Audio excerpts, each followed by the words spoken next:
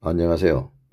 글자를 이와 같이 가로로 되어 있는 것을 세로로 바꾸고 다음에 글자와 글자 사이의 간격을 조절하고 다음에 글자와 줄, 행간을 조절하는 방법에 대한 설명을 하겠습니다. 지금 현재 글자가 가로로 되어 있죠. 가로로 되어 있는 것을 이와 같이 세로로 이렇게 쉽게 바꾸는 방법 에 대한 설명을 지금부터 해드리겠습니다. 자, 스마트폰의 캡컷 앱을 터치합니다. 이 캡컷은 컴퓨터용 캡컷이 있고요. 스마트폰용, 스마트폰용 캡컷이 있습니다. 그래서 스마트폰용 캡컷 앱을 터치합니다. 툭 터치한 다음에 터치하면은 아래쪽에 편집이라고 있죠. 이 편집이 선택되어 있는 상태에서 새 프로젝트가 떠 있습니다. 자, 새 프로젝트를 터치해서 들어가겠습니다. 새 프로젝트를 터치했습니다. 자, 여기에서 저는 이 화면에 있는 자기 자신의 사진이라든가 동영상을 사용하지 않고 캡컷에서 제공하는 라이브러리 동영상 이것을 터치해서 가져와 보겠습니다. 자, 라이브러리 동영상을 터치했습니다. 그리고 여기에서 이 검색창을 터치해서 산이라고 치고 있어요. 산이라고 입력했습니다. 산. 그리고 산이라고 입력한 다음에 여기 돋보겠죠. 자, 번개 돋보기로 터치합니다. 터치하면요. 그리고 산이 쫙 나와요. 이렇게. 한글이 잘 먹혀요. 여기서 방향을 여기, 여기 보세요. 여기 방향 있죠?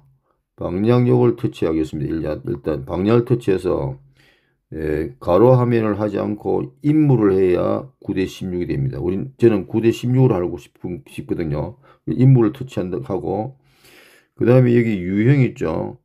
유형을 터치해서 유형을 터치해서 사진을 터치합니다. 저는 사진에서 가져와 보겠어요. 여기 동영상이 아니고 사진을 사진에서 가져와 보겠어요. 사진을 터치했어요. 그러면 사진이 많이 나오죠. 이렇게 사진이 쭉 나옵니다. 여기에서 저는 가지고 싶은 것은 요 사진입니다. 요 사진을 아까 초기에 보여준 그 사진입니다. 이걸 가져오기 위해서는요. 여기 동그라미 있죠? 이것을 터치합니다. 동그라미를 딱 터치하면은 이것이 터치가 되면은 하단에 이렇게 사진이 내려옵니다. 이 사진이 이렇게 오게 됩니다. 자, 그렇게 한 다음에 여기 추가라고 있죠? 이 추가를 터치합니다. 자, 추가를 툭 터치합니다. 그러면 화면에 보세요. 화면에 이와 같이 예, 여기처럼 이렇게 사진이 오고 타임라인에도 사진이 오게 됩니다. 그 다음에 이렇게 왔을 때 제일 먼저 해야 될 것은요. 여기서 예, 항상 비율을 먼저 하세요. 비율. 비율이 확정이 돼야 제대로 작업이 됩니다. 비율을 터치해서 비율을 딱 터치하면은 여기 맞추기가 있고 9대 16이 있고 1대1 16대 9 이렇게 쭉 있죠. 있는 것을 예, 저는 9대 16 쇼츠에 맞는 것을 맞는 그런 예, 9대 16을 하겠습니다. 9대 16을 터치했어요. 이렇게 선택하고 그대로 놔두면 안 돼요. 반드시 저장을 해야 돼요. 저장은 항상 이렇게 V로 되어 있습니다. 그래서 저장을 터치합니다. 이렇게 한 다음에 그 다음에 여기 이렇게 보시면 하단에 기본 화면입니다. 이게 기본 화면에서 글자를 가져와야 되겠죠. 글자를 입력해야 되겠죠. 그래서 T 텍스트를 터치합니다. 글자를 입력할 때는 T 텍스트를 터치합니다. T 텍스트를 터치한 다음에 그러면 여기 보시면은 텍스트 추가가 있어요. 이 텍스트 추가를 터치합니다. 텍스트 추가를 터치해서 텍스트를 여기에서 입력하는 것이 아니고 이쪽에 아래쪽에 여기서 입력, 입력하는 겁니다. 그래서 여기서 지금 깜빡깜빡 하잖아요. 여기 보시면은 깜빡깜빡 하죠. 그리고 자판기가 이렇게 떠 있습니다. 그리고 여기서 입력합니다. 그래서 저는 에, 맑은 정신 자기가 원하는 글자를 넣으면 돼요. 맑은 정신 이렇게 치고 다음에 엔터 치고 어, 건강한 신체 이렇게 넣어보겠습니다. 건강한 신체 이렇게 건강한 하고 한 켜 떼고요. 신체 이렇게 넣, 넣겠어요. 이렇게 넣었어요. 이거 넣은 다음에 여기서 바로 이렇게 저, 이 저장을 하면 안 돼요. 이걸 터치하면 안 돼요. 안 되고 다른 것 설정을 해야 되거든요. 그래서 그래서 자판기를 일단 없애야 보이지 않게 해야 이 자판기 뒤에 여러 가지 메뉴가 있어요. 그래서 자판기를 없앨 때는 항상 글자의 제일 하단에 있는 요거 있죠. 뒤로 가기 이걸 터치해야 됩니다. 다시 보세요. 여기 뒤로 가기 있죠. 뒤로 가기 요걸 터치하면은요. 자판기 없어집니다. 툭 터치했어요. 자판기 없어졌죠. 그러니까 이 자판기 뒤에 이런 것이 숨어 있는 거예요. 여기에서 먼저 걸골을 터치해. 걸골이 선택되어 있어요. 걸골을 선택한 다음에 예, 다음에 걸골의 걸골은 한국어가 선택되어 있어야 됩니다. 기본적으로 한국어, 걸골 한국어가 선택되어 있어요.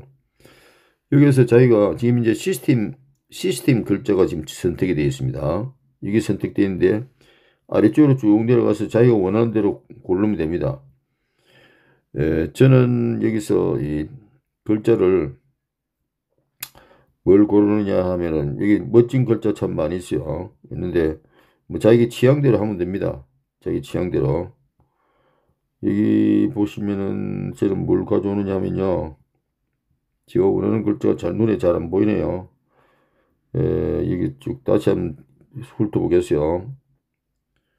예, 여기 글자 솔매 김대건채 이거 멋, 멋진 글자라서 저는 이 글자 서치를 좋아합니다. 이걸 터치해 보겠어요. 터치하면은 화면에 보시면은 이렇게 이런 글자 썼습니다. 아 지금 아까 제가 오타가 났네요. 저 건강한 신체인데 이게 왜 오타가 났을까? 밑에는 바로 되어 있는데 다시 제가 치우고 건강한 신체 이렇게 다시 넣겠어요. 예, 이런 버그가 있더라고 이게 간혹 보면은요. 이렇게 넣으니까 이렇게 입력하니까 여기도 제대로 됐죠. 그리고 다시 요 뒤로 가기를 해서 자판기를 없앱니다. 보지, 보이지 않게 했어요. 자, 글꼴은 정해졌고요. 좀 화면에서 좀 이렇게 조금 크게 하겠어요. 크게 이렇게 글자를 해놓겠어요. 그 다음에는 하단에 여기 보시면 스타일이라고 있죠. 이 스타일을 터치합니다. 스타일을 터치한 다음에 글자식을 정합니다. 이게 노란색 있는데 노란색 한번 터치해 보겠어요. 노란색을 탁 터치하면 여기 보시면 노란 이 글씨 서치가 됩니다. 이렇게. 근데 여기서 저는 검은 고를 한번 해보세요. 검은색. 검은색 있죠? 이것을 선택했습니다. 검은색을 선택하고요. 그 다음에는 뭘 하느냐면요. 에, 획이라는 게 있어요. 획. 획은 뭐냐면 키네마스터의 윤곽선에 해당됩니다. 가장자리에 테두리에 색깔을 넣는 거예요. 이 획을 터치해 보겠어요. 획은 윤곽선입니다. 획을 터치하면 기본적으로 이 검은색이 검은색이 일반적으로 선택되어 있죠. 이걸 검은색으로 선택된 상태에서 위로 살짝 밀어 올리면요. 위로 살짝 밀어 올리면 여기 두께가 있어요. 두께. 요걸 가지고 저 위에 있는 두께를 설정합니다. 두께가 지금 보세요. 저 위에 글자 보세요. 이 글자 보세요. 글자 보면 글자가 너무 두껍죠? 오른쪽으로 가면 너무 두꺼워요. 오른쪽으로 가면 두껍고 왼쪽으로 가면 이렇게 두께가 그됩니다. 자, 글자가 검은색인데 두께도 검은색으로 하면 안 되겠네요. 자, 그래서 이것은 검은색을 하지 말고 흰색을 해야 되겠죠. 그래서 흰색을 선택합니다. 흰색을 딱 선택해요. 그러면 제 위에 글자 보세요. 굉장히 맑게 보이죠. 그래서 이걸 두께를 조금 이렇게 늘려도 됩니다. 그래서 적당히 이렇게 자기 취향대로 합니다. 자, 그 다음에 이 글자가 지금 현재 가로로 되어 있죠. 세로로 하는 것을 하려면요. 여기 이렇게 보시면은요. 여기 간격이라는 게 있어요. 간격. 이겁니다. 간격 이걸 터치합니다. 간격을 터치하면은 여기에 지금 현재 정렬이 있어요. 이게 여기 정렬은 제일 가에 있는 오른쪽에 있는 것을 왼쪽에 있는 것을 터치하면요. 왼쪽 정렬이 되죠. 이거. 왼쪽 정렬. 그 다음에 옆에 있는 게 오른, 가운데 정렬, 오른쪽 정렬. 이렇게 됩니다. 이거는 가로로 글자입니다. 이것을 세로로 바르면, 바꾸려면 이걸 터치해야 됩니다. 여기에서 이것은, 어, 위쪽 정렬, 요건 가운데 정렬, 요건 아래쪽 정렬 이렇게 됩니다. 그래서 이걸 터치해 보겠어요. 여기서 가운데 이걸 터치해 보겠어요. 터치하면은 툭 붙이면 글자가 보세요. 가로로 있던 것이 세로로 바뀌었죠. 이렇게 바꿀 수 있습니다. 여기에서 바꾸는 거예요. 예, 이쪽, 이, 이쪽에 여기에서 바꾸는 거예요. 그 다음에 여기에, 예, 요걸 터치하면 위쪽에 글자를 맞추는 거예요. 위로, 위에 글자를 맞춰요. 위쪽에. 요 딱 터치하면, 여기 보시면은 위쪽에 여기가 딱 맞춰졌죠. 그 다음에 이걸 터치하면요. 아래쪽을 맞추는 거예요, 이거. 이걸 터치해보면 아래쪽 여기에 딱 맞춰졌죠. 이렇게 글자를, 예, 세로로, 가로로 된 것을 세로로 맞추고, 저는 여기서 위로 맞추겠습니다. 위쪽을 맞춰보겠어요.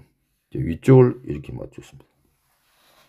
그 다음에 여기서 아래쪽에 보시면은요, 확대라는 게 있어요. 확대. 확대 이것은요, 글자를 크게 적게 하는 거예요. 요 글자를 확대에 지금 움직이는 보세요. 아래쪽에도 보세요. 위에도 보세요.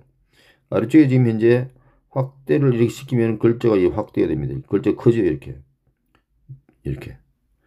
자, 여기 요것을 왔다 좌우로 왔다 갔다 슬라이드식으로 되어 있어요. 그럼 이 글자가 커지고 작아지고 한다는 거예요.